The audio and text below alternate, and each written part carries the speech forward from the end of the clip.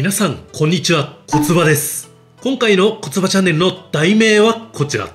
光る藤原氏、映画を極める超絶巨大氏族。紫式部藤原の道長に続く流れ。ということで、今回は2024年大河ドラマでもど真ん中の登場となる藤原氏の登場から紫式部藤原の道長への流れについて家系図を交えながら紹介していきたいと思います。2023年大河ドラマは1500年代から1600年代が物語の舞台でしたが、今回は900年代から1000年代と約600年ほど遡ることになります。この2人が活躍したのは平安時代中期。そして紫式部は本名不明ながらも藤原一族の娘として生まれている人物となります。藤原氏は映画を誇り牽制を振るうことになります。それは藤原氏のこれまで他の氏族との権力争い、ひいては同じ藤原氏の中でも相当な権力闘争がありながらも日本の政治を牽引していくことになります。今回は光る君への舞台となる1000年前後の藤原氏に至るまでの流れを皆さんが一度は聞いたことがある中富の鎌足から時代に沿って家系図に沿って紹介していきたいと思います。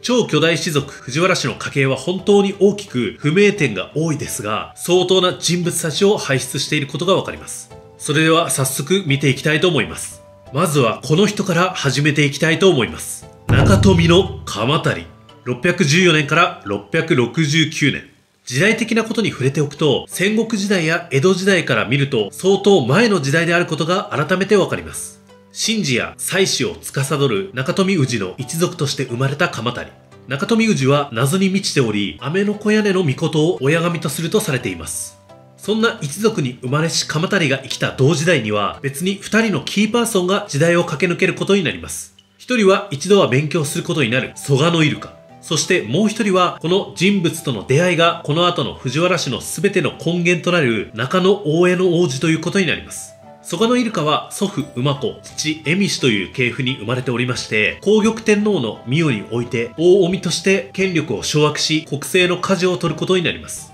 そしてその頃、鎌足は中野大江の王子と出会うことになります。宝光寺で蹴鞠をしていた中野大江の王子は、その最中に靴が飛んでいき、それを鎌足が拾って差し上げたところから始まったと言われておりますが、この二人の出会いが後世を作っていったと言っても過言ではありません。鎌足は使えるべき君主を探していたと言われ、この出会いに至ることになります。この中野大江の王子は第34代天皇、除名天皇と皇玉天皇の間に生まれている王子となります。生まれは626年となり、運命の645年は20歳となります。そして中野大江の王子と鎌足は蘇我のイルカから権力を奪取することを目的に掲げ蘇我の倉山田の石川麻呂を味方につけ朝廷での儀式中に蘇我のイルカの暗殺を決行しこれを成功させています。この政変は一種の変と呼ばれておりましてこれにより朝廷は体制を一新することになります。この政変の後に第36代天皇には皇徳天皇が即位することになります。そして中野大江の王子は皇太子となっています。この上位は初の生前上位となっています。そして鎌足もこの中野大江の王子の側近として従事することになり、大きく立場を向上させていくことになります。この大化の改新と呼ばれる一連の流れでは、多くの制度を導入しており、国家の基盤を固めていくことになります。その後、中野大江の王子は即位し、第38代天皇天智天皇となっています。669年には鎌足がこの世を去ることになりますが、亡くなる直前に天智天皇から最上の官位である大職官を与えられ、藤原の氏を賜ることになります。そしてこの藤原の氏は、後に不人の直系のみ使用することが許されることになります。この鎌足は後に大繁栄する藤原一族の礎を築いた人物となります。時代背景をおさらいすると、この鎌足が生きた600年代中盤は飛鳥時代ということになります。そしてこの後は息子の不人の代に移り、ここでも藤原氏は強固な地盤固めを行っていくことになります。出資とは別に鎌足が生きた時代の天皇をまとめてみると、33代推古天皇、34代除名天皇、35代皇玉天皇、36代皇徳天皇、37代斉明天皇、38代天智天皇となります。続いては次世代のリーダー藤原の不人について見ていきましょう。藤原の不人。659年から720年鎌足の次男として生まれている人物です不人に至っては2時代を生きているということで飛鳥時代後期から奈良時代初期にかけて活躍した人物となります669年に父鎌足が亡くなり、その時まだ11歳となります。父の死後の3年後には、天智天皇、かっこ中野上の王子の巫女の大友の王子、中野上の王子の弟の大天の王子との間に人心の乱が勃発します。これに勝利した大天の王子が第40代天皇として即位し、天武天皇となっています。この乱の最中の不人の動向は不明で、後々の発展のことを考えると立場が悪くなるような立ち回りはしていないかと思います。そしてこの不人も出世の階段を登っていくことになります。持統天皇の御代では行部省の判事であったと言われています。不人は持統天皇の次に文武天皇が即位すると娘の都を受代させ、二人の間には後の聖武天皇が誕生することになります。この聖武天皇が即位するのは724年となるので、不人の死後に即位しているということになります。716年には、不人の孫にあたる後の聖武天皇に自らの娘の光明氏を嫁がせ、さらに天皇家との関わりを盤石にしていくことになります。この不人は律令国家の基盤を固めていくため、大法律令の制定に中心人物として関わっていくことになります。そして、不人の死後の制定となりますが、大法律令を改定した要領律令の編纂にも取り組みますが、この制定前に亡くなることになります。不人は藤原氏、ひいては日本国家の基盤に大きく関わっていた希代の政治家となるわけです。そしてこの藤原氏の基盤は、不人の4人の息子に引き継がれていくことになります。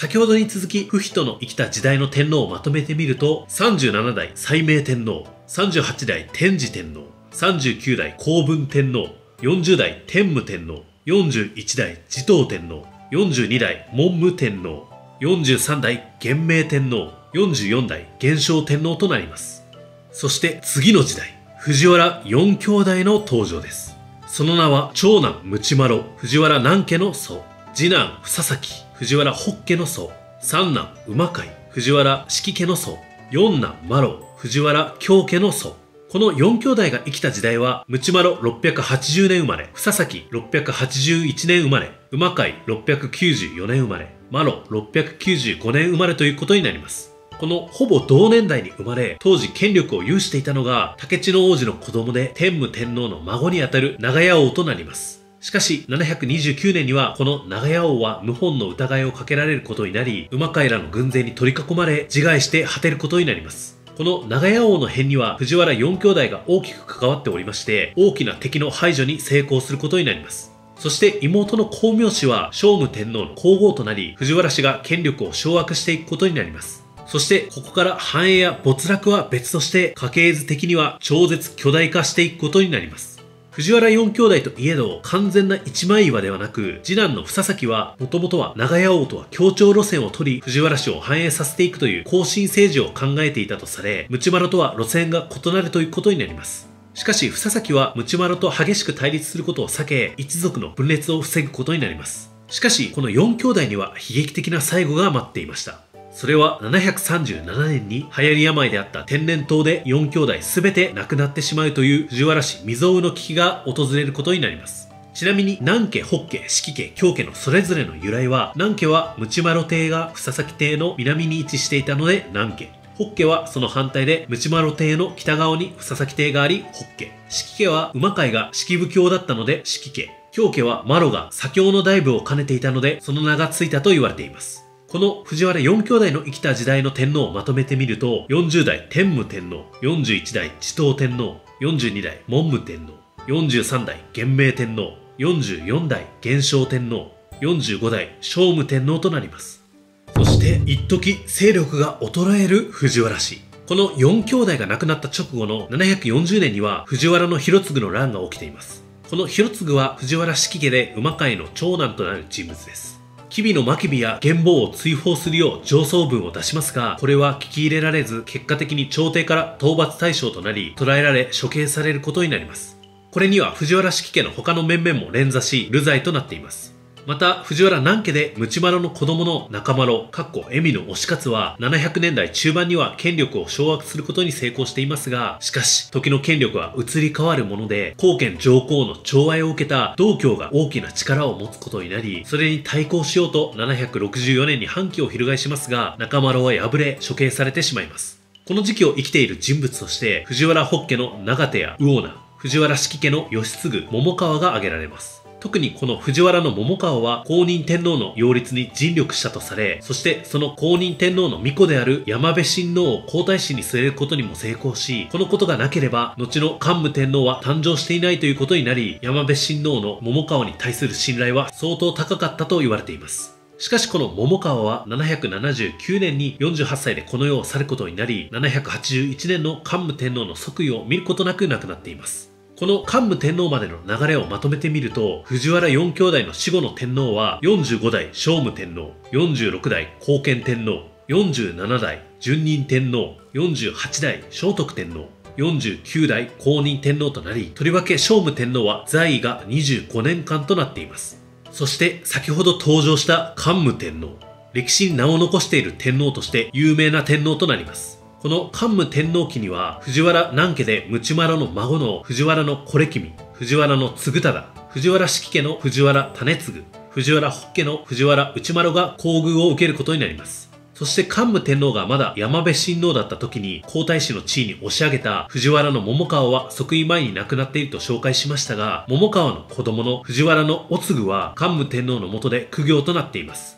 また、特性総論と呼ばれ、人民のためにその負担となっている東北の恵美氏の討伐と平安京の建設の停止を主張し、桓武天皇はその主張を受け入れ停止しています。桓武天皇の崩御に伴い次の天皇となったのは平勢天皇となります。平勢天皇自体は3年で上位し、弟の佐賀天皇が即位していますが、この時期に藤原式家は没落を迎えることになります。平勢上皇は在位していた時から藤原式家、種継の子供のクスコを寵愛し、その兄中成が牽制を誇りますが、平勢上皇が平城京への遷都の御の利を出しますが、佐賀天皇側に制圧され、中成は殺害され、クスコは自ら命を絶つことになります。この810年のクスコの変で藤原式家は没落することになります。そして佐賀天皇の御代で頭角を表すことになるのは藤原北家の藤原の冬継。新たに設置されたクロードの塔に冬継は就任することになります。この職は以降出世につながる重要な位置づけとなっていきます。佐賀天皇の信任の厚さは相当なもので、821年には右大臣となっています。823年には冬継の子供の義房と佐賀天皇の娘で親戚降下した清姫が結婚することになり、さらには冬継ぐ娘の信子が後の任明天皇に受代することになり、冬継ぐの立場は確立されることになります。その後は左大臣に昇進し、826年に亡くなることになります。こうして藤原北家は確実に映画に向けて基盤を固めていくことになるわけです。そしてこの冬継の次の権力者はもちろんのこと、先ほどの佐賀天皇の親戚降下した皇女と結婚している藤原北家の義房となります。この人物こそ藤原北家の映画の礎を築いた人物です。この義房は佐賀天皇の巫女である任明天皇が即位した際に父も通ったクロードの塔に任じられることになります。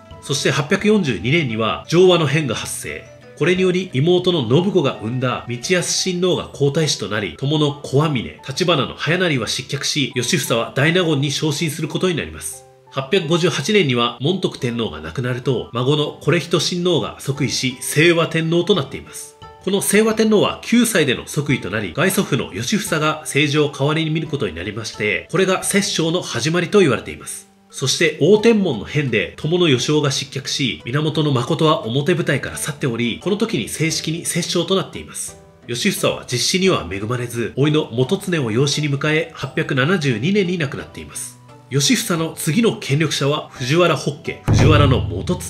836年生まれとなり、叔父の義房の養子となっています。そして元常もクロードの塔に任じられています。870年には大納言、872年には右大臣となっています。清和天皇が退位し、陽勢天皇が即位すると、養父義房のように摂政に任じられることになり、祭りごとを司ることになります。陽勢天皇が退位した後には、高校天皇が即位することになりますが、この高校天皇の時にも権力を掌握し、また、高校天皇は55歳での即位となりまして、その即位に際して元常に相当感謝したと言われています。この高校天皇が崩御すると、次は宇田天皇の御代となります。この宇田天皇の時に赤穂事件が勃発。赤穂という中身のない名誉職に元常は怒り、職務を放棄することになります。結果、宇田天皇も困り果て、最終的には和解することになります。そして元常の死後は元常の子供として若くして出世していた藤原の時平の時代となります。宇田天皇の御代にクロードの塔に任じられることになりますが、元常死後、宇田天皇は申請を行い、摂政関白は置いていません。これも先ほどの赤穂事件がゆえのこととなります。そんな中でも大納言まで順調に出世していくことになります。宇田天皇が上位して醍醐天皇が即位すると、899年には時平は左大臣となり、右大臣にはあの学問の神様で有名な菅原道真が任じられることになります。そして妹の恩師を醍醐天皇に受代させることに成功しています。そして901年には正体の変が起き、菅原の道真が太宰の権の卒に左遷され、その地で没することになります。これは時平も関連しているかと思いますが、三種が学者でありながらも出世していくことに周りからも不満の声が多く上がっていたと言われておりまして、多くの人に睨まれていたことが影響していると言えます。そして道真の死から6年後には、この時平も若くしてこの世を去ることになります。この後は弟の忠平が藤原北家着流として続いていくことになります。この藤原の忠平は914年に右大臣、924年には左大臣となりまして、朱雀天皇が即位すると摂政に任じられることになります。朱雀天皇の元服後には関白となり、その映画を極めていくこととなりました。この忠平の代には東では平正門の乱、西では藤原の住友の乱が起きているタイミングとなります。そして村上天皇の御代でも関白を務めています。この忠平の子供たち、小野宮流の祖となる実頼、九条流の祖となる諸助、この二家系から今回光る君へに登場する人物たちが輩出されることになります。村上天皇の御代では藤原の実頼は左大臣に任じられ、弟の諸助は右大臣となっています。しかしその後は弟の諸助が台頭するようになり、藤原北家着流は諸助の家系となっていきます。今回、光る君へで、この実頼の子供の頼忠役としては、俳優の橋爪淳さんが、さらにその子供の金藤には町田啓太さんが配役されています。また、実頼の孫の実助はロバートの秋山さんが演じることになります。このエリアまで家系図が進んでいくと、今回の大河ドラマに登場するゾーンとなってきます。そして藤原の諸助の孫が道長という位置づけとなります。諸助の子供で道長の父にあたる金家は、段太康則さんが演じることになります。この金家は兄弟や同じ藤原北家内での熾烈な権力争いの中に身を投じることになります。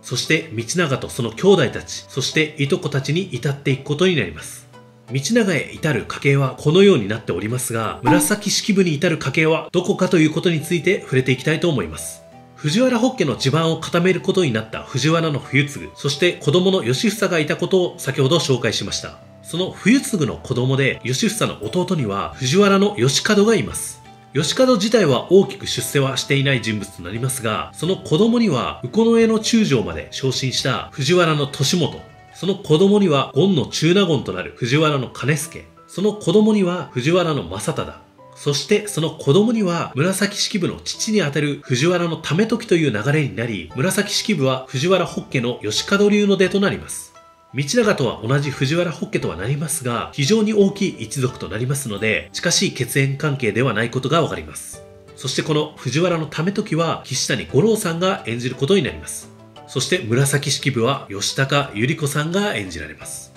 ということで、今回は簡易的になりましたが、鎌足から光る君へつながる藤原氏の家系図はどのようになっているかを紹介させていただきました。藤原氏は本当に巨大な一族であることが分かり、今回紹介したのはほんの一部ということになりまして、いろいろな藤原氏を紹介していけたらと思います。特に藤原北家からも相当大きな家系図となっておりまして、後の世にはあの一族を輩出しているということが多々あり、紐解いていくと非常に面白い一族となります。今度は光る君へに出てくる藤原氏を一つの家系図にまとめて紹介していけたらと思います。この度はコツバチャンネル最後までご視聴いただきありがとうございました。もしよろしければチャンネル登録、高評価よろしくお願いします。ありがとうございました。